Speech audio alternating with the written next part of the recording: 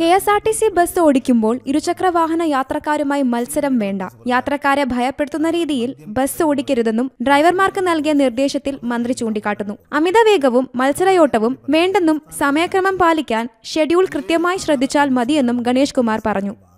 ഈ അടുത്ത കാലത്തായി മദ്യപിച്ച് വണ്ടി ഓടിക്കേണ്ട എന്നൊരു നിലപാട് മാനേജ്മെന്റ് എടുക്കുകയും സി എം ഡിയുടെ നിർദ്ദേശപ്രകാരം മദ്യം കഴിക്കുന്നവരെ പരിശോധിക്കുകയും ചെയ്തതിനു ശേഷം വളരെയധികം അപകടങ്ങൾ കുറഞ്ഞിട്ടുണ്ട്.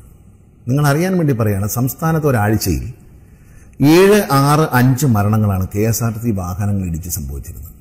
ഇന്ന് ഈ പരിശോധനയ്ക്ക് ശേഷം ആറാമത്തെ ആഴ്ചയിലേക്ക് കടക്കുമ്പോൾ മരണത്തിന്റെ എണ്ണം ഒന്ന് രണ്ട് മരണമില്ലാത്ത ആഴ്ച.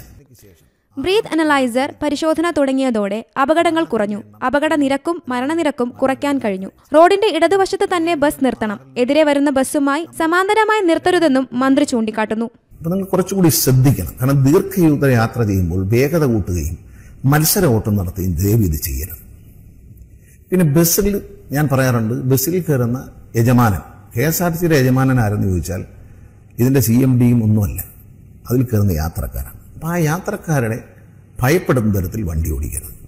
നമ്മുടെ റോഡിന്റെ പരിമിതികൾ പരിഗണിച്ചു വേണം ഡ്രൈവർമാർ ബസ് ഓടിക്കേണ്ടത്. സ്ത്രീകളും കുട്ടികളും ഉൾപ്പെടെയുള്ള സ്കൂട്ടർ യാത്രക്കാരെ പരിഗണിക്കണം. ശ്രദ്ധാപൂർവം ബസ് ഓടിച്ചാൽ അപകടങ്ങൾ ഇനിയും കുറയ്ക്കാൻ കഴിയും.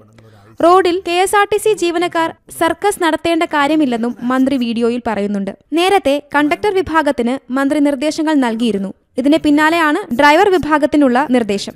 Zee Malayalam news Thiruvananthapuram. ഏറ്റവും പുതിയ വാർത്തകളും വിശേഷങ്ങളും വിരൽത്തുമ്പിലറിയാൻ സി മലയാളം ന്യൂസ്. എല്ലാ ഡിജിറ്റൽ പ്ലാറ്റ്ഫോമുകളിലും ലഭ്യം.